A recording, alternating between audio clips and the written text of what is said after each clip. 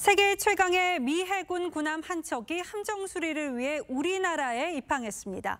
미국 군함이 우리에게 수리를 맡긴 건 처음인데 80조 원 규모로 추정되는 전 세계 함정 유지 보수 시장에 본격적인 도전이 시작됐습니다. 박상현 기자가 보도합니다.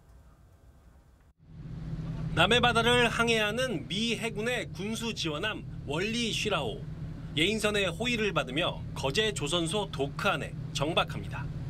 2009년 진수된 4만 톤급 군함으로 오랜 항해에 곳곳에 녹이 슬고 수리가 필요한 상황. 우리나라 조선소에서 3개월 동안 정비를 마친 후 미 해군에 다시 합류합니다. Very impressed because of the facilities, and I'm looking forward to the uh, good uh, work uh, and a new relationship that we're going to have the U.S. Navy and Hanawa Ocean uh, Shipyard. 1949년 미군 퇴역함을 구입해 해군 전력을 꾸린 우리나라가 75년 만에 미군 함정을 정비하는 나라로 올라섰습니다. 이번 수준은 연간 20조 원에 달하는 미국 함정 유지 정비 보수 MRO 시장에 처음 발을 들여놨다는데 의미가 큽니다. 조선업계는 전 세계 MRO 시장이 올해 80조 원에서 6년 후 100조 원에 육박할 것으로 전망합니다.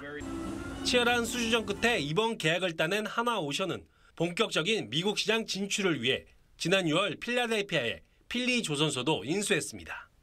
연간 약 80조 원 이상 예상되는 글로벌 함정 MRO 시장에서 이번 미 해군 정비 사업 진출은 새로운 도약의 큰 발판이 될 것입니다.